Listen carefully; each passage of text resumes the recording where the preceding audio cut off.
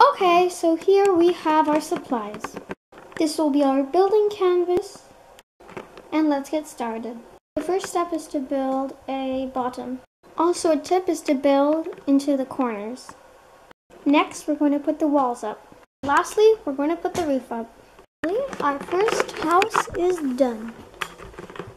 Okay, for our next fort, we're going to just keep the new one and then build some more. Step is to build the ground. This is it after I put the walls up. The last thing we need to do is put the roof and the door. Okay, this is it after we're finished and now I'm going to go inside. Now here's a look of the inside.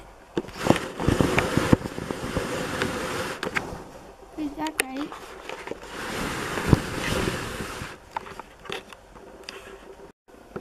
And here's how it looks from the inside. With the roof on, it really looks cool. And I destroyed it. Now we're going to build a skyscraper. First we're going to put up the walls. This is it after I've put up the walls. Now it's completely finished. And this is the view from the outside.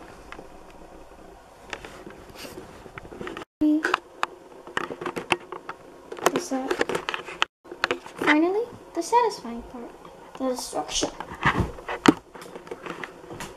Yay!